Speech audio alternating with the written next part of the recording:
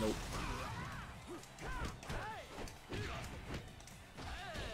God damn, he just got fucking outplayed. Fuck.